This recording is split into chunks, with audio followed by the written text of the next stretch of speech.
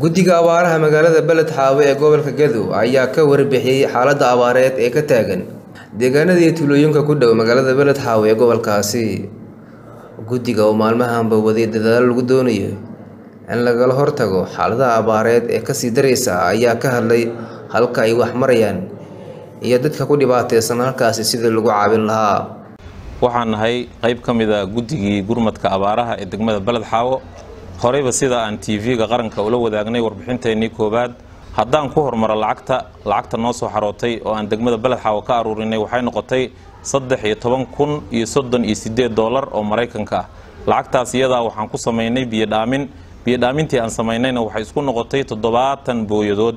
Toddobaatankaas booyadoodna waxaan u kala dirnay dhul kala fogfog oo maaragtay ay ka mid yihiin waddadan maaragtay ceelwaaq iyo waddada garbahaarey iyo waddada luuq intaasaan u qaybinay waxaan geersiinay biyahaas dhul ay ka mid yihiin degmada garbahaarey degmada luuq degmada doolow degmada beled xaawo iyo degmada ceelwaaq. Intaas dhul ka kooban baan gaarsiinay. Biyodhaamintii aan samaynay lacagtii saddexiyo tobanka kun iyo soddon iyo sideedda doolar ahayd. Waxaan baaq halkan ooga dirhayaa dhammaan ummadda muslimiinta ah ee meel kastoy joogaan khaasatan kuwa gobolka geda ka soo jeeda jaaliyadaha. Dhammaan waxaan leeyahay dhulka waxaa ka jiro abaar aada u ba'an ilaahay nasrigiisina waa la helay. Alxamdulilah meelo badan baa laga cabay. Waxaan leenaha marka insha allahu wixiina soo gaaray oo gacantanada soo gaarayna way baxeen si wanaagsan ayay ku baxeen sida guddigii ugu horreeyay qasnajiga uu faahfaahiyey. Marka waxaan baaqa halkan kala wadaagaya oon rabaa inaan idhaahdo dadkii weli way ooman yihiin. Oonkii iyo dhibkii weli wuu taagan yahay.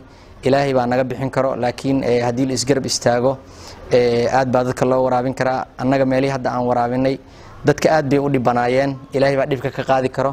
Laakiin aad bay ugu naxariis naxariis ilaahay bay ku heleen. Xoolahoodii baa cabbay ayagii baa cabbay.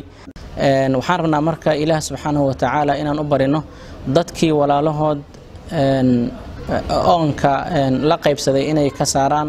Ilaahna subxaanahu watacaala saw uga dhigay. Biyahaas faraha badan oo la geeyey way kala duwanaayeen waana kala meelo kala fogfog ama kala dhib badanoo kala qiimo ah weeyaan oo aad u kala qiimo sarreeyey.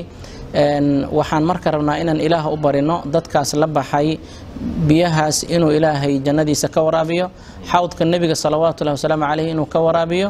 Waxaad la baxdeen annaga intiina soo gaartay waan gaarsiinay walaalihii oomana ayagoo weli u sii baahan ilaah nasrigiisana hadeertaan uu bilowday.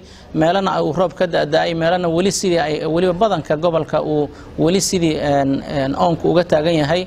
Dad badanoo waxaa jira dadaallo wada oo iskood isu xilqaamay hay'ado ay ka mid tahay hay'adda araxma muasada raxma oo hadda ayagu biyodhaamiskii gobolka oo dhan ka bilaabay.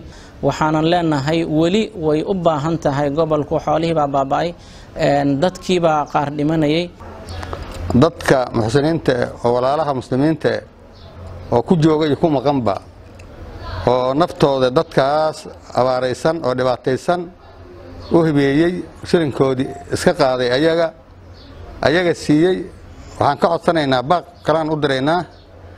Abaartii weli waa taagan tahay. Ilaahay falligiisa inkastoo meelo kore oo alwaaqi gaarkeeda ay nasriga ilahay hadda ka bilowday.